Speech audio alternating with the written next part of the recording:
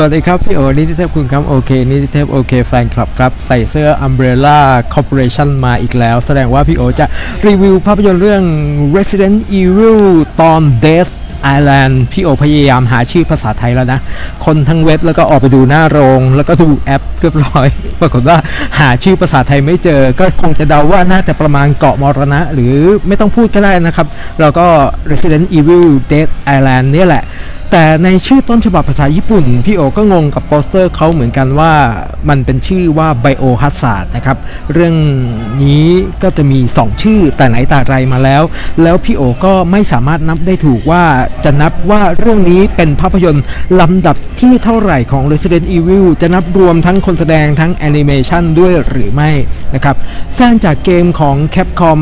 และ เป็นงานสร้างของญี่ปุ่นโดยตรงเรื่องนี้ แล้วก็มีนักแสดงนำจะพูดว่าไงอะ่ะ มันเป็นแอนิเมชันบางทีดูไม่รู้เรื่องว่ามันไม่ใช่คนแสดง คือจะบอกว่าก่อนหน้าที่พี่โอจะได้ดู Death Island เนี่ย พี่โอยังเข้าใจว่าเป็นหนังคนแสดงอยู่เลย มันเหมือนมาก มันเนียนมากนะครับ ตัวพี่โอก็ไม่ใช่นักเล่นเกม ถึงแม้ว่าจะเป็นผู้ให้เสียงภาษาไทยในเกมอารยาก็แล้วแต่ แต่ว่า ในเกมที่มันพัฒนาขึ้นไปเรื่อยๆเนี่ย มันจะมีความสวย ความคม ความสมจริง จะแตกต่างกันนิดหน่อย ตรงที่การเคลื่อนไหวของตัวละครมันจะเป็นไปอย่างช้าๆ และบางทีตัวละครมันก็หยุดนิ่งสนิทไม่ได้ มันจะต้องโยกไปเรื่อยๆ เพื่อให้รู้ว่านี่คือสิ่งมีชีวิตที่อยู่ในเกมอะไรประมาณนี้นะครับ ก็เป็น หนังที่หลายๆ คนรอคอยและหลายคนบอกว่าต้องการให้พี่โอรีวิว เพราะมันสนุกมาก พี่โอดูแล้วก็สนุกจริงครับ สนุกกว่าหลายๆ ภาคที่ได้ดูมานับรวมทั้งคนแสดงทั้งแอนิเมชันนะ เอาเป็นว่าคนแสดงนี่เรายกให้เป็นฝั่งของอเมริกันนะครับ ถ้าเป็นแอนิเมชันยกให้เป็นฝั่งของญี่ปุ่น อันนี้เป็นโปรดักชันของญี่ปุ่นนะครับ ทั้ง ผู้อำนวยการสร้างคนเขียนบทผู้กำกับเป็นญี่ปุ่นล้วนๆแม้แต่ Sony Pictures เองก็เป็นบริษัทญี่ปุ่น เป็นญี่ปุ่นล้วนๆอ่าดูข้อมูลก็เป็นญี่ปุ่น เพียงแต่ว่าบางคนอาจจะเข้าใจว่าเป็นฮอลลีวูดเป็นอเมริกันก็เพราะว่านักแสดงที่เอามาพากเสียงให้เสียงภาษาอังกฤษนำเสนอเป็นภาษาอังกฤษ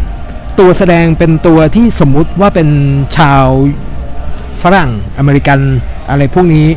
ไม่มีชาวญี่ปุ่น ไม่มีชาวเอเชียในเรื่อง ก็เลยอาจจะทำให้คนดูเข้าใจว่าเป็นหนังฝรั่งนะครับ แต่ว่าจริง ๆ แล้วก็คือสมมุติเอา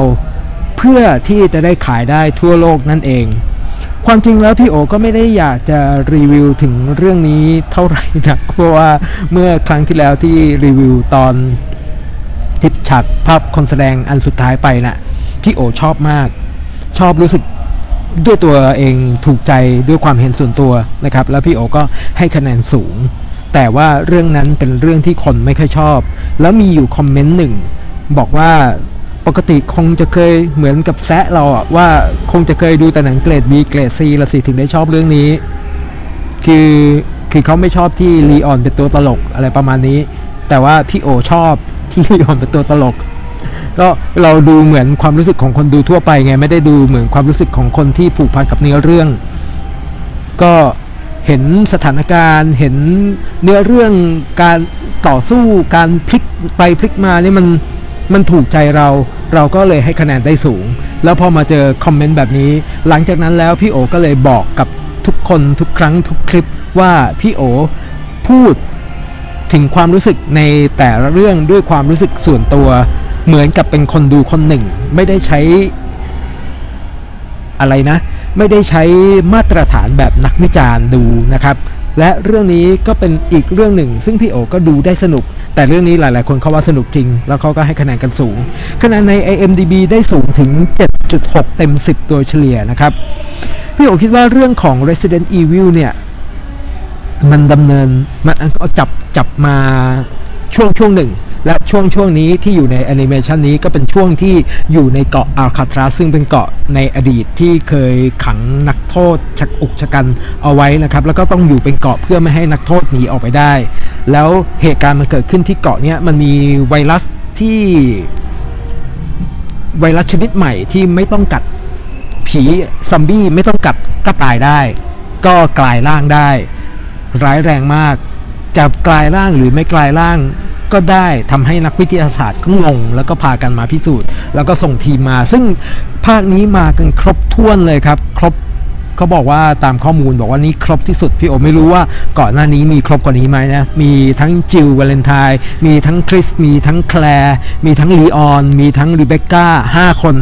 มากันครบแต่เสียดายความสั้นสั้นมากสั้นแค่ชั่วโมงกับ 27 นาทีเท่านั้นเองนะครับ เป็นแอนิเมชัน action adventure ผจญภัย แฟนตาซี horror thriller ตื่นเต้นระทึกขวัญสยองขวัญ รวมครบทุกรสชาติ ยกเว้นดราม่ากับคอมเมดี้ไม่ค่อยมี ก็เรียกว่าตลอด 1 ชั่วโมง 27 นาที ชั่วโมงครึ่งเนี่ย สู้กันมันหยดแล้วก็สมจริงมากๆ เพียงแต่ก็อย่างที่พี่โอติทิ้งว่าการเคลื่อนไหวมันพอที่จะดูออกว่ามันมันไม่ใช่คนจริง ไม่ใช่คนแสดงจริง มันเหมือนเรา กำลังเล่นเกมอยู่โดยที่เราไม่ได้เล่นอะ่ะมันเหมือนเราเราดูเราดูเกมประมาณนั้นนะครับ คือถือว่าฉากต่อสู้ CG อะไรพวกนี้ทำได้ดี ฉากไหนที่ไม่มีคนไม่มีสัตว์ประหลาดนะ เราจะรู้สึกเหมือนมันเป็นของจริงมาก เหมือนเป็นทะเลจริง เหมือนเป็นตึกรามบ้านช่องเหมือนเป็นสิ่งปลูกสร้างจริง มันจริงขนาดนั้นมันเหมือนจริงขนาดที่ว่า ไม่ต้อง มันเหมือนจริงขนาดที่ว่าเรารู้สึกเหมือนเป็นหนังคนแสดงผสมแอนิเมชัน ที่แต่ว่าฉากต่างๆเป็นเป็นเหมือน location จริง แล้วเอาแอนิเมชันเฉพาะตัวตัวละครเท่านั้นเองนะครับ ก็แปลกใจที่เราจะต้องเจอ monster ตัวใหญ่ในทุกๆท้ายเรื่องเสมอๆ มันเป็นมาตั้งแต่แรกจนถึงปัจจุบัน อันนี้เป็นสิ่งที่เราเดาทางได้ ซึ่งก็ไม่เกินความคาดหมาย พี่โอก็ไม่ได้หักคะแนนตรงนี้ พี่โอก็ชอบเรื่องนี้พอๆกับคนอื่นนะครับ เรื่องนี้พี่โอก็ให้ได้ 7 เต็ม 10 มีความรู้สึกว่า Resident Evil ในแต่ละเรื่องมันเหมือนกับจับเหตุการณ์แต่ละช่วงแต่ละตอนของอภิมหากาบขนาดใหญ่ พี่โอว่าเรื่องนี้มันใหญ่ขนาดขนาดเทียบเท่าได้กับรามายณะรามเกียรติ์ของอินเดีย หรือไซอิ๋วสามก๊กของจีน หรือพวกพระภัยมณีของไทยอะไรประมาณนี้เลยนะครับ คือเป็นเรื่องนิยายขนาดยาวยาวมากยาวจนขนาดไม่สามารถ ที่จะสร้างเป็นภาพยนตร์ได้หมด จึงก็ต้องจับแต่ละช่วงแต่ละตอนมาทำเป็นแต่ละตอนแต่ละตอน แล้วเนื่องจากว่ามันไม่ได้เป็นตอนที่ต่อเนื่องกับแบบแฮร์รี่พอตเตอร์ความสนุกมันไม่เท่ากัน มันอาจจะมีสนุกแล้วก็ลดลงแล้วก็มาสนุกอีกทีเขาก็เลยจับเป็นช่วงๆ มานำเสนอนะครับ นี่เสนอเฉพาะช่วงของ Death Island ซึ่งพี่โอถือว่ามันเป็นช่วงเวลาที่ค่อนข้างสนุก ตัวละคร 5 ตัวมารวมกันในคุกเนี่ย แล้วก็ต้องเจอกับฝูงผีดิบทั้งหลายที่ที่ไม่รู้ว่าอยู่ๆก็กลายร่างได้ยังไง คนที่อยู่หลังเขาคืออยู่ในแนวรบอยู่ข้างหลังที่เรากำลังป้องกันอยู่อยู่ดีๆ กลายเป็นซอมบี้ขึ้นมาก็มีมันสนุกตรงนี้นะครับ แล้วก็ทางดีที่ไล่ในเนี้ยมามันก็ค่อนข้างจำกัด เพราะว่ามันเป็นพื้นที่ปิดพื้นที่เฉพาะในคุกอัลคาทัสดูแล้ว หลาย ๆ คนที่ดูด้วยกันพร้อมกันในช่วงชั่วโมงนี้นะครับ ชั่วโมงกว่าๆนี้ก็ชอบมากเหมือนกัน พี่โอ ก็อยากชวนทุกคนที่เคยดู Resident Evil ให้มาดูเรื่องนี้ที่เคยผิดหวังจากภาคที่แล้ว ที่บอกว่าไม่สนุกและยิ่งสร้างยิ่งแย่ ก็ลองมาพิสูจน์กันนะครับ ว่าฉบับคนแสดงฉบับแอนิเมชันเนี่ย ถึงมันจะสลับกัน ไม่ต่อเนื่องกัน แต่ ความสนุกนั้นอาจจะเหมือนหรืออาจจะต่างกันก็ได้ ถึงจะชอบหรือไม่ชอบที่ผ่านมาลองมาพิสูจน์กับภาคนี้ก่อน อาจจะชอบก็ได้นะครับ ถ้าพี่โอพูดอะไรผิดพลาดขาดตกบกพร่องก็ต้องขออภัยไว้ณโอกาสนี้ ย้ำอีกทีว่าเรื่องนี้รู้สึกว่าจะมีแต่ซาวด์แทร็กเท่านั้นนะครับ และซาวด์แทร็กนี้ก็เป็นภาษาอังกฤษด้วย พี่โอไม่แน่ใจว่าเวอร์ชันภาษาญี่ปุ่นที่ญี่ปุ่นมีไหมนะ แล้วก็รายละเอียดทางด้านรายได้ยังไม่เห็นรายงานนะครับ แต่ก็เห็นคะแนนใน IMDB ละว่าสูงพอสมควร 7.6 เต็ม 10 โดยเฉลี่ย พี่โอให้ 7 เต็ม 10 ครับ พบกันใหม่ในคลิปอื่นๆขอขอบคุณทุกท่านที่กดติดตามกันทั้งใน YouTube และ TikTok และ Facebook นะครับ ใน YouTube ตอนนี้ก็เกือบ 4,300 ท่านแล้ว ใน TikTok ก็เกือบ 6,600 ท่านแล้ว ใน Facebook ก็เกือบ 2,200 ท่านแล้ว ขอบคุณทุกท่านที่กดติดตามกันครับ และกดไลค์กันในทุกคลิปด้วยนะครับ ชักชวนเพื่อนๆมาติดตามกันด้วย พบกันในคลิปอื่นๆ ขอบคุณครับ สวัสดีครับ